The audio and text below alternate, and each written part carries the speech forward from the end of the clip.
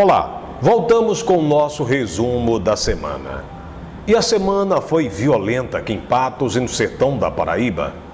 Tivemos no começo da semana um assalto a um carro forte, com pessoas aqui de Patos, trabalhadores de uma empresa de segurança.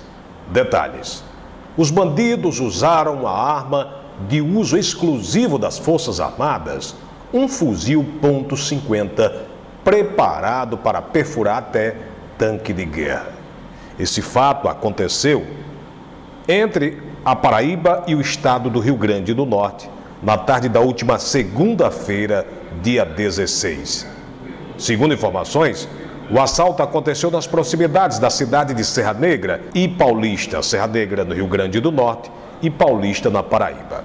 Alguns funcionários da Prosegur, a empresa que faz o seguro de valores, eles foram feridos na ação e posteriormente socorridos para o Hospital Regional de Pato. Não foi divulgado a quantia que os bandidos levaram. Esse assalto assustou a população sertaneja. Aqui em Patos nós tivemos mais uma unidade básica de saúde invadida, arrombada por bandidos. O fato já aconteceu agora no final de semana. Mas o que chama a atenção que já está virando rotina. Várias unidades de saúde foram arrombadas. O último fato foi registrado na rua Alexandrine Rodrigues, bairro do Santo Antônio. E foi na última quarta-feira, dia 18, quando os funcionários chegaram para trabalhar na manhã, encontraram a porta aberta e vários produtos roubados. Mas nada chamou atenção na área policial como duplo homicídio que foi registrado para amanhecer sexta-feira. Um jovem de apenas 8 anos de idade e uma mulher foram encontrados mortos na Vila Cavalcante, setor leste da cidade. Segundo informações, o fato aconteceu precisamente na rua Professora Terezinha Araújo, bairro Vila Cavalcante, próximo ao cemitério São Judas Tadeu, na manhã da última sexta-feira. Foram mortos a tiro Francisco Disney e Roque Azevedo, de 16 anos, e Miriam da Silva Araújo, de 27. Outra mulher foi baleada, Elaine de Araújo Dávila, de 18 anos, mas essa socorrida para o Hospital Regional de Patos está fora de perigo. De acordo com relatos, as três vítimas estavam no motel Taiti.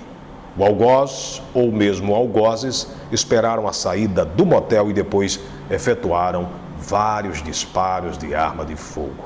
Esse fato chamou a atenção. Um fato que também marcou Patos foi uma decisão da Justiça de voltar o nome da rua Vidal de Negreiros, essa rua que está no centro comercial de Patos. E depois de uma longa batalha jurídica, a Justiça concedeu voltar o nome da rua. A rua tinha recebido o nome de João Bosco de Araújo um comerciante aqui da cidade de Patos. Moradores se revoltaram, fizeram uma campanha, até colheram assinaturas, entraram com a ação na justiça e a justiça concedeu que o nome da rua deve mesmo permanecer Vidal de Negreiros e não Rua João Bosco de Araújo. Um fato que está chamando a atenção é uma confusão entre mototaxistas, taxistas, outros setores do transporte público. Inclusive, Patos não tem ainda um transporte público de qualidade. Mas essa semana uma reunião aconteceu envolvendo representantes da ST Trans, dos taxistas, mototaxistas e também da prefeita Francisca Bota.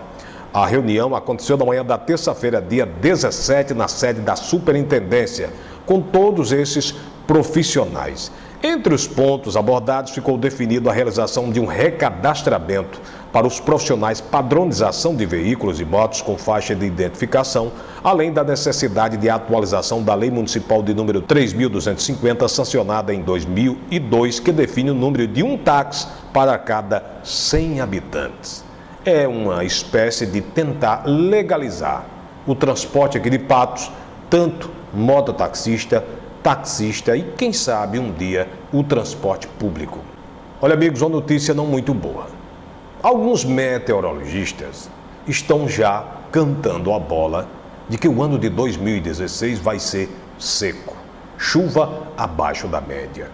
E nós tivemos nesta sexta-feira uma reunião no auditório da UFCG em Pombal, envolvendo Cagepa, A ESA, que é a Agência Executiva de Gestão das Águas do Estado da Paraíba, e ANA, Agência Nacional das Águas, para já traçar as medidas cabíveis para a seca do ano de 2016. A ONU divulgou que o Nordeste brasileiro pode enfrentar uma das piores secas no ano que vem. O fato é preocupante. No momento, a população só pode esperar, rezar e fazer a sua parte poupar água. Olha, amigos, na política, como sempre, destaque para os dois deputados de Patos, Dinaldo Vanderlei da oposição e Nabô Vanderlei.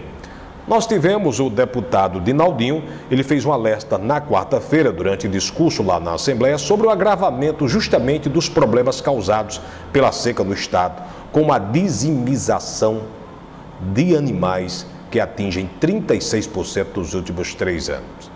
Segundo a Federação da Agricultura Pecuária da Paraíba, FAEP. Ele diz que para revitalizar o nosso rebanho total, ele disse que apresentou o requerimento e um apelo ao secretário de Estado do Desenvolvimento Agropecuário da Pesca e da Agricultura Familiar e do Desenvolvimento do Semiárido para que sejam adotadas com máxima urgência providência no sentido de proteger a vida animal e o rebanho do Estado paraibano. Já o deputado Nabo Vanderlei, ele disse que está fora a cogitação de sua parte de se candidatar a prefeito de Patos nas eleições do ano que vem. Essas declarações de Nabô repercutiram em todo o estado da Paraíba.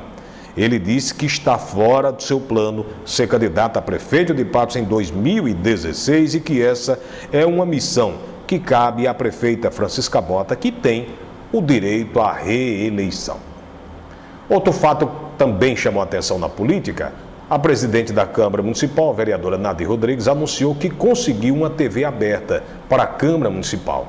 Essa TV, ela iria retransmitir a programação da TV Câmara e, claro, ter uma programação local, inclusive mostrando as sessões da Câmara Municipal de Patos ao vivo para a TV aberta para toda a cidade de Patos e o sertão da Paraíba.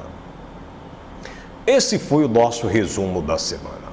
Lembre-se, o antigo está chegando ao final. Se prepare para a novidade. Se prepare para novos tempos.